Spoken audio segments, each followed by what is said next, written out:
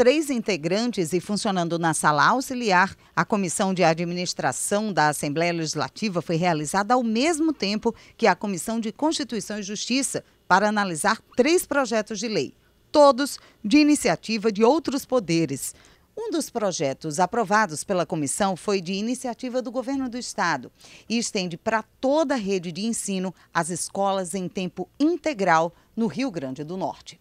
Aguardado pelos alunos da rede estadual de ensino, o projeto, aprovado por unanimidade, segue agora para a votação em plenário.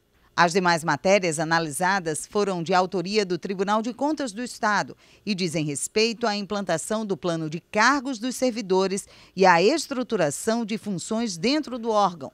Todos aprovados também por unanimidade. Aprovamos aqui três projetos importantes, um que consolida aí o, o ensino em tempo integral nas escolas, a questão do Tribunal de Contas, plano de cargo e salário dos servidores e também um ajustamento nos cargos que fazem a estrutura do Tribunal de Contas.